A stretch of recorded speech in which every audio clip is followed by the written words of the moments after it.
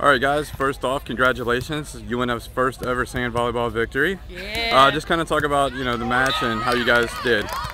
Emily, we'll start with you. All right. Uh, well, we came out strong first set, won 21-8. Second set started a little slow. We were down by like four, 14-18. We came back and pulled it out and had a great couple serves from Care. Had a great couple serves from me. It's just team effort.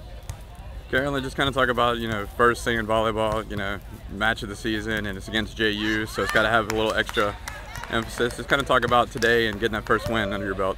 It's so nice, especially since um, it's you know a hometown team that we get to rival against, and um, it's I'm totally grateful for being here. Um, and our team has worked so hard uh, collaboratively to come together, work for each other, you know, make each other harder, stronger, faster every single day. So um, it's so it's just so nice to be here. It's awesome. All right, thank you, ladies. Congratulations. Thanks.